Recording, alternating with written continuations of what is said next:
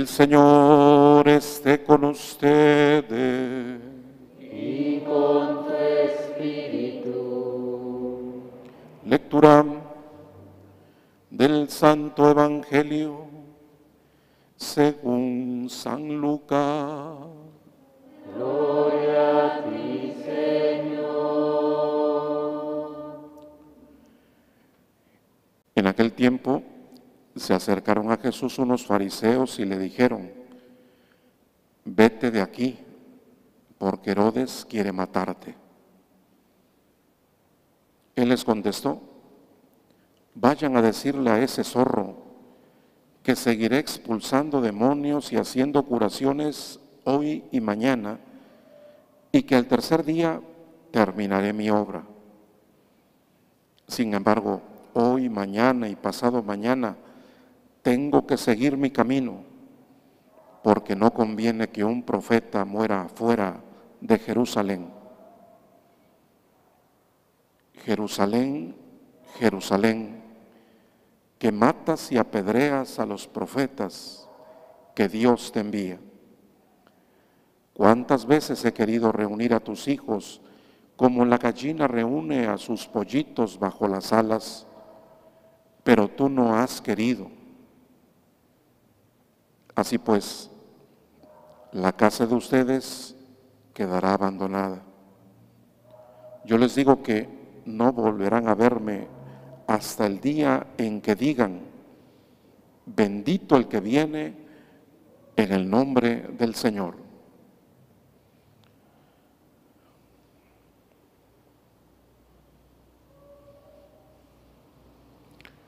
Palabra del Señor.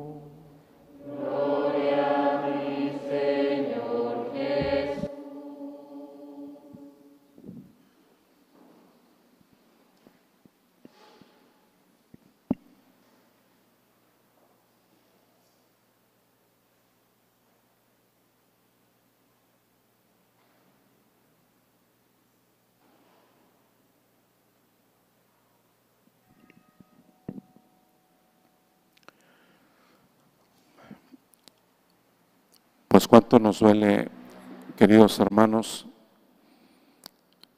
constatar que entre nosotros sigue habiendo esas expresiones como las que constató también nuestro Señor Jesucristo. Cuánto nos duele darnos cuenta que también en nuestros ambientes se expulsa a nuestro Señor Jesucristo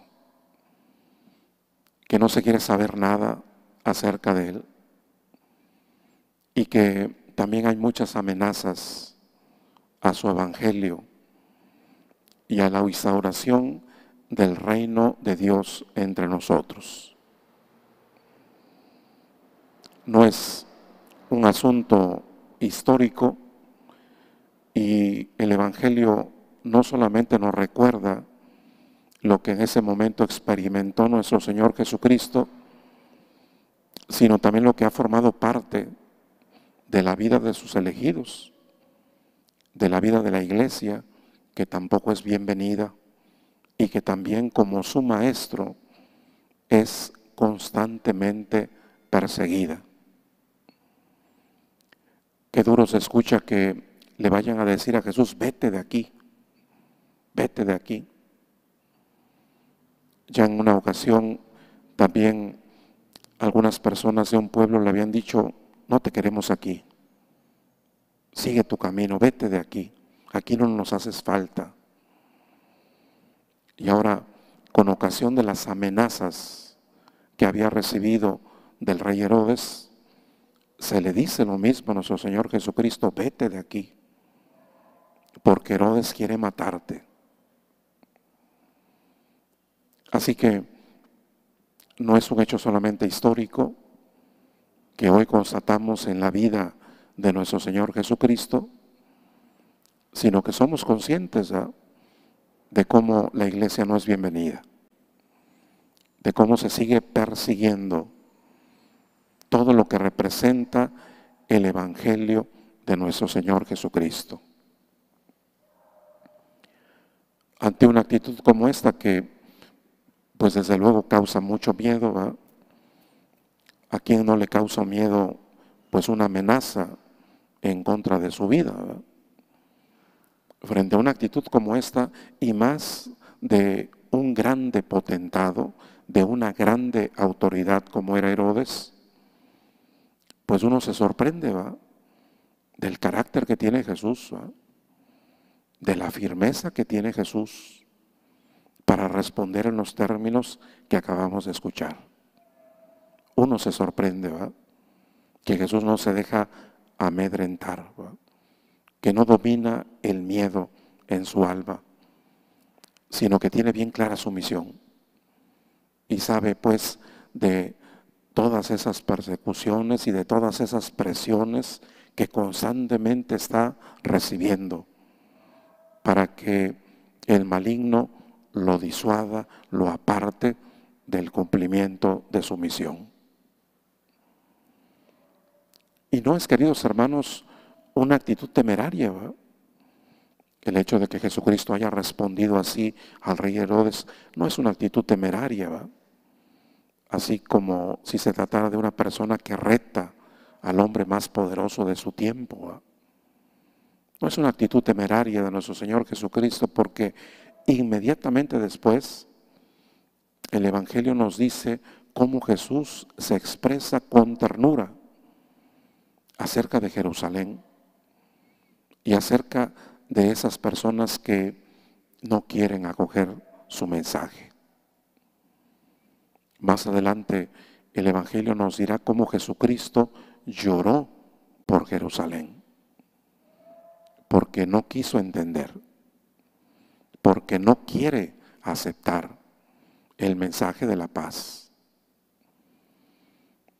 Hay tres ocasiones en los santos evangelios en los que se narra cómo Jesucristo llora por distintas circunstancias. Jesús lloró cuando murió su amigo Lázaro. Jesús lloró como en esta ocasión por Jerusalén, que no quiere entender, que no quiere recibir el mensaje de la paz. Y Jesús también llora, como todos lo sabemos, en el huerto de Getsemaní.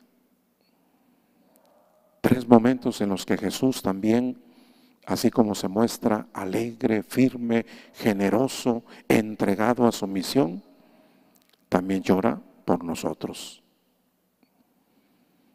Hoy podríamos decir, hermanos, que ese es el llanto de Dios, un llanto que a todos nos sorprende porque se trata de un llanto de impotencia.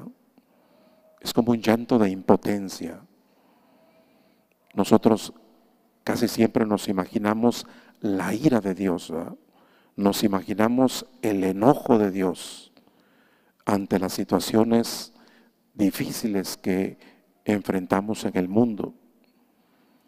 Pero nos cuesta más trabajo aceptar y meditar en el llanto de Dios, más que en la ira de Dios, en el llanto de Dios cuando nosotros no queremos entender, cuando no nos queremos convertir, cuando también en nuestros tiempos se le expulsa a Dios y no se quiere saber nada acerca del Evangelio. A propósito del llanto de Jesús por Jerusalén, hoy podemos también pensar en el llanto de Jesús por cada uno de nosotros. Jesús llora cuando también nosotros no queremos entender. Cuando nosotros, a lo mejor de manera muy velada, también rechazamos su mensaje.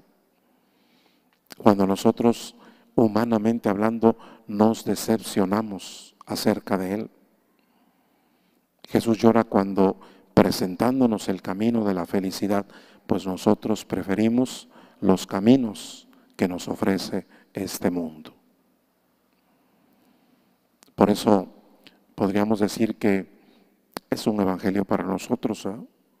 es una palabra para nosotros. Nos sorprende y admiramos la nobleza y la humanidad de nuestro Señor Jesucristo que así también canaliza sus sentimientos. ¿eh? Pero se trata también de un mensaje que llega hasta nosotros. Uno podría ponerse a pensar, bueno, de mi vida, ¿qué es lo que le entristece a Dios? de mi vida qué es lo que le desanima a Dios, de mi vida qué es lo que provoca el llanto de Dios, así como la testarudez, el rechazo de Jerusalén, provoca el llanto nuestro Señor Jesucristo. Nos hace bien pensarlo así, hermanos, más que en la ira de Dios nuestro Señor, pensar en el llanto. que es como una especie de manifestación de impotencia, porque Dios nunca nos va a obligar, Dios nunca nos va a forzar, Dios nunca se va a cargar nuestra libertad. Siempre supone nuestra libertad y nos deja en completa libertad para que nosotros podamos reaccionar y podamos caer en la cuenta de la importancia del camino que nos propone. Pensemos, por lo tanto, en lo que de nuestra vida provoca el llanto de Dios. Y que al contemplar esta escena del Evangelio, también nosotros vayamos cambiando nuestra actitud, vayamos valorando más el amor y el acercamiento de Dios nuestro Señor y terminemos por aceptar el camino que Jesucristo nos ofrece.